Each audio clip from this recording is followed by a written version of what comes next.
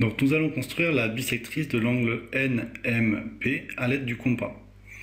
Donc pour cela, nous prenons le compas, nous piquons sur le point M et nous traçons un arc de cercle. On obtient ainsi deux points.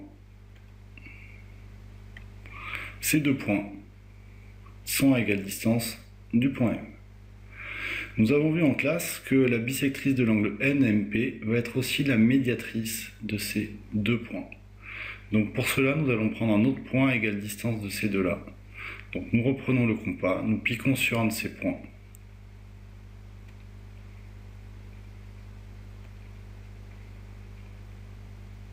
Nous prenons un écartement et nous faisons pareil avec l'autre point.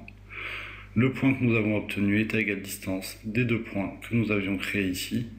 Donc ces deux points sont bien sur la médiatrice de ces deux points.